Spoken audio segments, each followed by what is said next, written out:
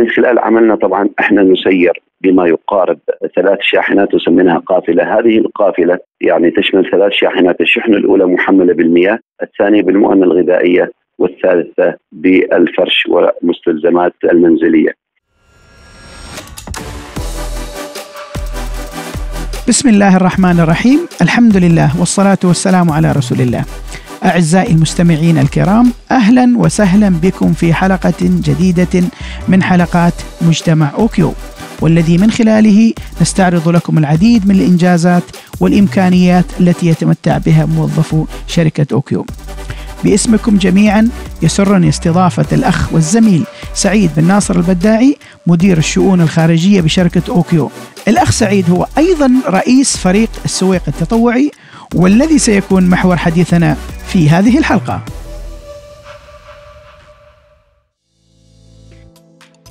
أهلا وسهلا بك الأخ سعيد وبداية يعني نود التعرف عليك عن قرب وتعطينا نبذة عن فريق السويق التطوعي. بسم الله الرحمن الرحيم، شكرا للاستاذ عمر العبري على هذه الاستضافة ولتسليط الضوء على أعمال فريق السويق الخيري. فريق السوق الخيري ينطوي تحت لجنة التنمية الاجتماعية التابعة لوزارة التنمية الاجتماعية بولاية السويق. يقوم فريق السوق الخيري بالأعمال التطوعية والخيرية بالولاية بشتى أنواعها. نعم. ويضم مجموعة من المتطوعين من أبناء الولاية من ذكور وإناث مقسمين إلى مجموعة من اللجان التخصصية نعم. في مجالات مختلفة. تنقسم في المجالات الخيرية وأخرى في المجالات التطوعية. نعم. يقوم آه، من خلال الأعمال الخيرية بالإشراف على الأسر المعسره وتوفير المؤن الغذائية والاحتياجات الأساسية وأيضا تنقسم آه، أعمال الفريق إلى مجالين المجال الخيري والمجال التطوعي. جميل. المجال الخيري يقوم بجميع أنواع أعمال البر من كفالة أسر كفالة أيتام توفير مؤن غذائية وما شابه ذلك توفير أجهزة كهربائية توفير أجهزة إلكترونية أيضا مساعدة ذوي الاحتياجات الخاصة من توفير المستلزمات الأساسية لهم وكذلك أيضا توفير العلاج الطبيعي لبعض الأسر الغير قادرة على الإيفاء بالالتزامات المالية. نعم. هذا بشكل عام يعني آه، تعريف آه، عن فريق السويق الخيري بولاية السويق. شكرا الاخ سعيد يعني آه، خلينا نقترب بصورة أقرب إلى أعمال الفريق والتحضيرات والتي قمتم بها مع أعضاء الفريق بالإضافة إلى الفرق التطوعية الأخرى طبعا من هذا المكان أنا أوجه جزيل الشكر والتقدير إلى كافة المؤسسات الحكومية ومؤسسات الأمنية والمجتمع المدني والتطوعية على اللحمة الحقيقية التي شاهدناها ولمسناها. الأخ سعيد يعني قرب لنا الصورة أكثر ما الذي حدث خلال الأسبوع الماضي وكيف تعامل فريق السويق التطوعي بعد تأكيد المؤسسات المعنية باقتراب الانواء المناخية وتأثيرها بشكل مباشر على ولايات شمال الباطنة. نعم آه، فريق السويق الخيري يعتبر عنصر أساسي من ضمن مؤسسات المجتمع المدني الموجودة في ولاية السويق. نعم. فكان عندنا مثل ما تقول آه، يوم السبت كانت عندنا الجاهزية والاستعداد وذلك من خلال وضع الخطة والتنسيق مع جميع الجهات الموجودة في ولاية السويق. آه، طبعا بإشراف مكتب الوالي ورؤساء المصالح الحكومية المتواجدين أيضا في الولاية. هذا كان يوم السبت يوم الأحد آه، قبل طبعا الحالة المناخية أيضا نعم. الاستثنائية التي مرت بها الولاية نعم. كان في أيضا تنسيق بين وزارة التنمية الاجتماعية وأيضا لجنة الإغاثة والإيواء نعم. تم اختيار وتجهيز ما يقارب تسع مراكز للإيواء نعم. آه، تبعد عن المناطق الساحلية لإيواء المتضررين والمتوقع أن يتضرروا من خلال هذه الأنواع المناخية. آه، قام طبعا فريق آه، السويق باختيار وتجهيز تسع مراكز نعم. لإيواء المتضررين من هذه الأنواع المناخية نعم. بجميع المستلزمات من مؤن غذائية من فرش من مياه بحيث أنها تكفيهم لمدة يومين على الأقل. نعم.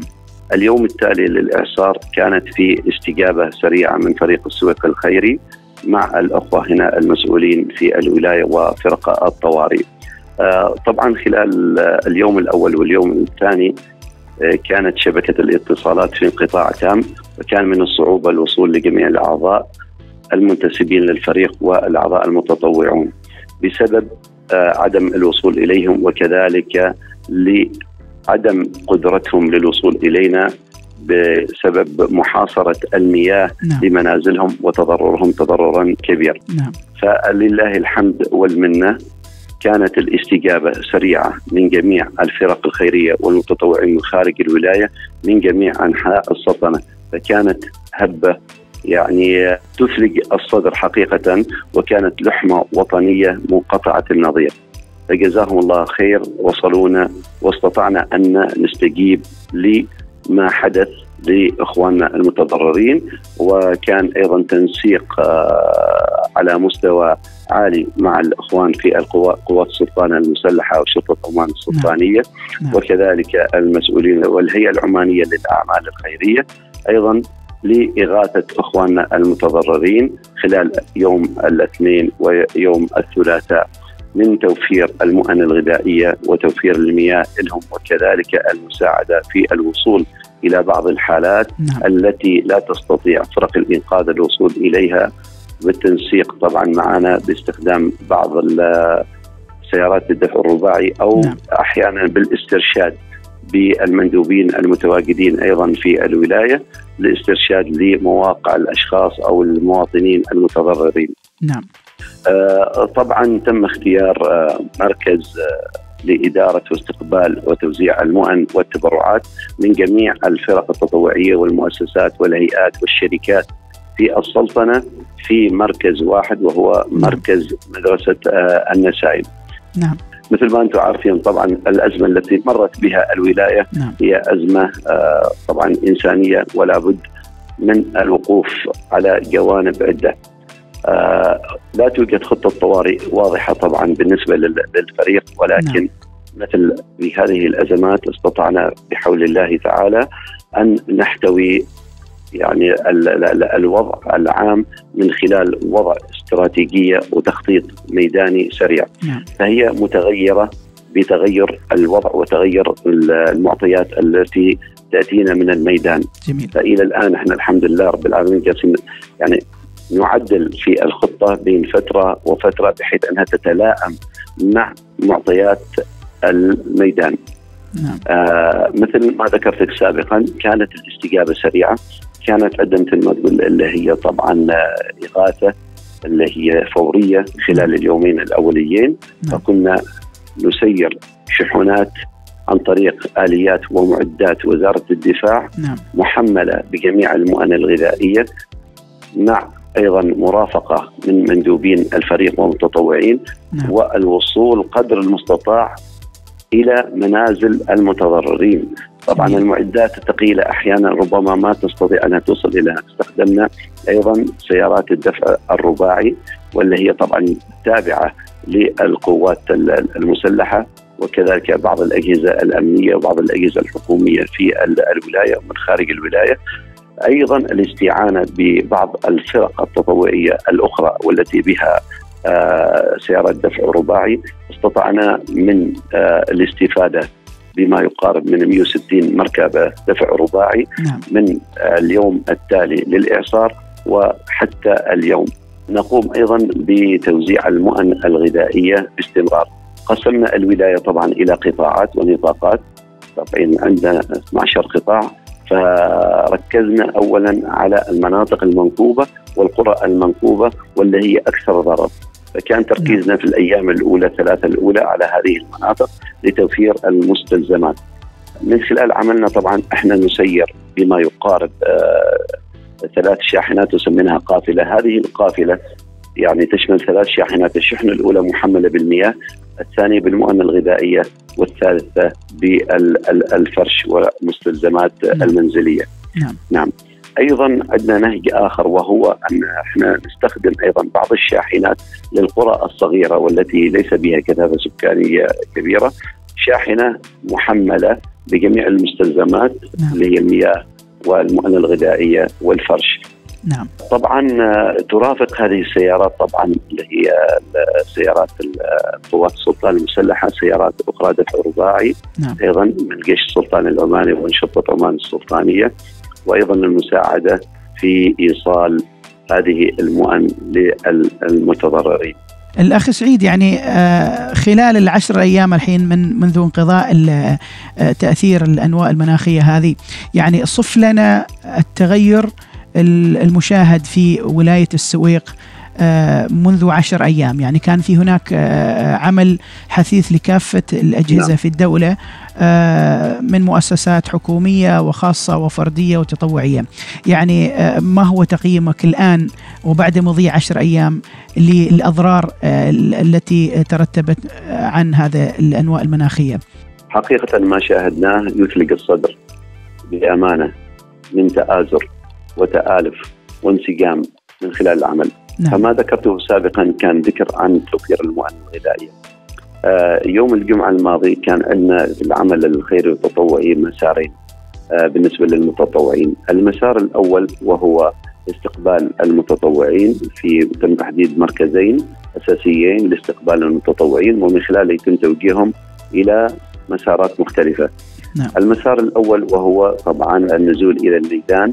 وتنظيف القرى وتنظيف المنازل أيضا وإزالة الأشجار والمعوقات أيضا التي تعيق ممرات ومسارات الطرق. نعم المسار الآخر لمن كان يرغب بالمساهمة في عملية أيضا ال- العمل بتوزيع المؤن الغذائية، نعم لأن إحنا هنا عندنا في ال- ال- المركز آه، لجنة رئيسية وأيضا مقسمة إلى مجموعة آه، فرق. نعم معنا فريق لإنزال المؤن، فريق أيضا لايضا تجهيز المؤن الغذائية ومن بعد ذلك إعادة تحميل هذه المؤن. أيضا عندنا فريق يتلقى جميع البلاغات نعم من المتضررين وطبعا ال- ال- معالجتها معالجة فوريه. نعم وأيضا فريق للنظافة وأيضا للحفاظ على سلامة ال- المكان أيضا يوجد لدينا فريق لتوزيع الشاحنات وأيضا للتخطيط الميداني وتحديد مسارات هذه الشاحنات وتوزيعها على القرى. نعم تم بحمد الله من توزيع مؤن غذائية لقرابة 283 أسرة. استعنا من خلالها خلال الأيام الماضية على 393 شاحنه. جميعها محملة بالمؤن. آه طبعا مثل ما ذكرت لك المؤن اللي هي تشمل ماء طرود غذائية والفرش. نعم. آه، استطعنا تقديريا الآن الآن تقديريا ب- من إيصال ما يقارب ل 29500 أسرة بولاية السويق ما شاء الله والعمل مستمر والحمد نعم. لله. الحمد لله آه، طبعا بالنسبة للتغير التغير واضح جدا نعم من خلال الأعمال المتطوعين آه، الذين وفدوا إلينا نعم. من جميع المحافظات السلطنة من ظفار وحتى مسندم. نعم. فقاموا بجهد كبير حيث استقبلنا خلال يوم الجمعة فقط بما يقدر من 15 ألف متطوع بولاية السويق. نعم. ولاية السويق أستاذ عمر نعم. ولاية شاسعة ومترامية الأطراف. بها ما يقارب من 200 ألف نسمة حاليا. نعم. وبها مجموعة عديدة من القرى. نعم. متوزعة بين الساحل وبين السهل وبين الجبل. فطبعا العبء كبير جدا والجهد كبير الله. جدا. والحمد لله آه، من خلال تكاتف وتعاون الجميع يعني نرى خلال العشر أيام في تحسن وفي تعافي واضح جدا. جميل. آه، بالحديث عن آه، الفرق التطوعية الأستاذ سعيد يعني آه، يجب أن لا ننسى فريق إحسان التطوعي بشركة أوكيو ومن هنا أيضا أقدم لهم يعني باسمكم جميعا جزيل الشكر والتقدير على وقفتهم الطيبة خلال هذه الأنواع بتخصيص تقريبا حوالي 400 متطوع و15 شاحنة وبلغ يعني عدد الساعات التطوعية حوالي 4000 ساعة تطوع. طبعا كل هذا العمل يشكر. نعم. الأخ سعيد في رأيك الشخصي هل ترى هناك فرق بين التطوع وكونك طبعا موظف في شركة أوكيوم هل هناك فرق بين التطوع المؤسسي آه، للشركات والتطوع آه، المجتمعي اللي لمسناه من من فريق آه، السويق التطوعي؟ يعني هل هناك فروق تشاهدها ولا كلهم ينتهجون نفس الهدف؟ أستاذي عمر بالنسبة للتطوع ومفهوم التطوع فهو مفهوم واحد. في النهايه العمل التطوعي الخيري هو خدمة لا بدون مقابل نعم يرتقي الإنسان منها يعني أهداف مختلفة نعم يعني كل على حسب اهدافه المحددة في هذا المجال. نعم. آه لا يوجد فرق في مفهوم التطوع والعمل التطوعي وإنما يختلف في إدارة المنظومة. نعم. ربما هناك ربما التطوع المؤسسي أكثر تنظيما ربما من ناحية وضع الأنظمة والقوانين نعم. وحوكمة أيضا العمل نعم. بطريقة ربما تكون مهنية أكثر من الفرق التطوعية. الفرق التطوعية طبعا يعني تفتقر إلى هذه المنظومة الإدارية المتكاملة نعم. فهي تحتاج إلى تعزيز هي تحتاج إلى حوكمة واضحة تحتاج إلى أيضا قوانين واضحة تنظم أعمالها نعم. فهذا الفرق بين الفرق التطوعية المدنية وبين الفرق التطوعية المؤسسية نعم المؤسسية أكثر تنظيما وأكثر آه، يعني نقول نظام حوكمة واضح يحدد مهام وأعمال المتطوعين. جميل جميل. خلينا ما زلنا مع آه، الفرق التطوعية وخلينا نتكلم عن المنجزات اللي اللي قامت بها هذه الفرق التطوعية في الولايات آه، المتضررة جراء الأنواء المناخية الأخ سعيد. يعني كيف يمكن أن نوجد جسر تواصل بين الفرق التطوعية وبين الفرق التطوعية المؤسسية؟ يعني ما الذي آه، يمكن صنعه لتقريب أهداف كل هذه الفرق من بعض خدمة لعمان وأبناء عمان. برأيك؟ السؤال وجيه جدا وجزاك الله خير أستاذ عمر على هذه آه، النقطة المهمة. أتوقع يعني من وجهة نظري لو أن الفرق التطوعية المؤسسية أو المؤسسات تقوم بمساعدة الفرق التطوعية المدنية بجميع ولاية السلطنة نعم. بالمساعدة في عملية آه، إصدار نظام حوكمة جميل. تقوم بالعمل عليه ينظم العمل الداخلي أيضا وينظم العمل التطوعي بشكل ممنهج جميل طبعا هذا الدور منوط بوزارة التنمية الاجتماعية تعتقد؟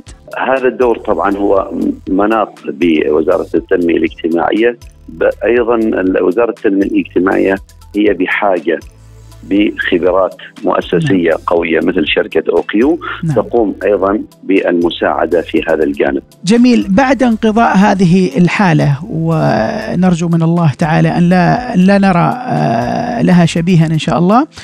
ما هي الدروس؟ طبعا لابد أن هذه الحالة وهذه الوقفة البطولية التي سطرها أبناء سلطنة عمان لابد أن يكون لها آه، دروس مستقاة. فما هي الدروس التي تراها الأخ سعيد من هذه الإنجازات اللي تحققت في غضون فترة قصيرة للتخفيف من أضرار الأنواء المناخية التي أثرت على ولايات شمال الباطنة برأيك؟ نعم من ناحية الدروس المستفادة من هذه الأنواع المناخية هذه تعلمنا على أن المجتمع العماني مجتمع مترابط مجتمع متآزر نعم. مجتمع يعني قلب على فعل الخير وقلب على التطوع وقلب على حبه لأخيه ومساعدته فيما يقوم به باي ناحيه وما تضرر به. هذه أفضل نعم. درس ممكن نتعلمه، نتعلم أن ان هذه ملحمة وطنية. جميل. وأكدتها أيضا هذه المحن. نعم. إن ما حدث على أرض الواقع وتعرضت له ولاية السويق وصحم والخابورة والسويق يؤكد على اللحمة الوطنية للمجتمع العماني. جميل آه يعني آه قبل ما ننهي حديثنا الأخ سعيد يعني آه يقال أن أبرز السمات التي تقاس بها إنسانية مجتمع آه هو التطوع وما لمسناه كان آه، خير مثال على الوقفة والتآزر والتعاون الذي شهدناه بين أبناء وبنات هذا الوطن الغالي. هل من كلمة أخيرة تريد أن توجهها للمستمعين الكرام أخي سعيد.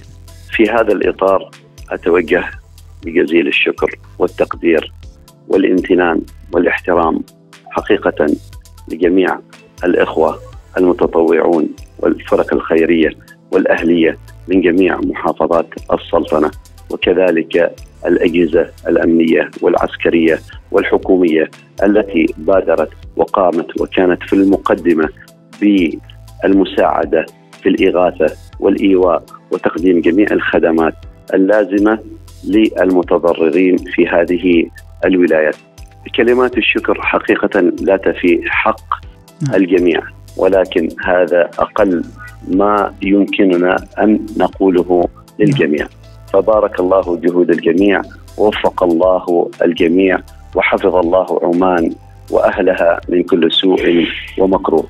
شكرا لك الأخ سعيد بن ناصر البداعي مدير الشؤون الخارجية بشركة أوكيو. والشكر موصول أيضا لكم اعزائي المستمعين الكرام. إلى هنا نصل وإياكم لنهاية هذه الحلقة وعلى أمل اللقاء بكم في حلقات أخرى. آه إلى ذلك الحين إلى اللقاء.